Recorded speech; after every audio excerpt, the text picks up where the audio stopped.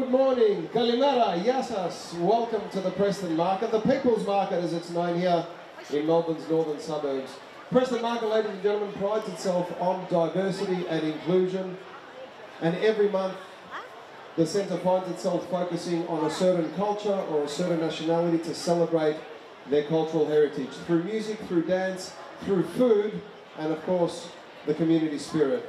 In front of you, ladies and gentlemen, we now have the Manassas School of Greek Dance and Culture's intermediate students, a handful of our students from our Preston campus, right here across the road from the Preston Market, actually. And today we are celebrating all things Greek. We had uh, MasterChef in the morning.